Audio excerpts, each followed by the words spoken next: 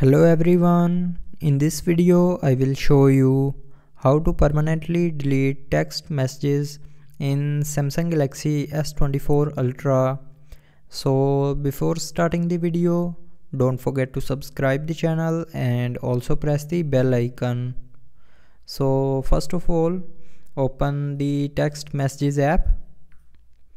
Now here, click on your text conversation and select it. And after selecting click on this delete icon. Now here it will show you a pop-up to confirm the conversation permanently. So tap on delete to delete the conversation permanently. So now you can see that text conversation is deleted permanently so that's how you can permanently delete text messages in Samsung Galaxy S24 Ultra. So I hope you liked the video. Thanks for watching.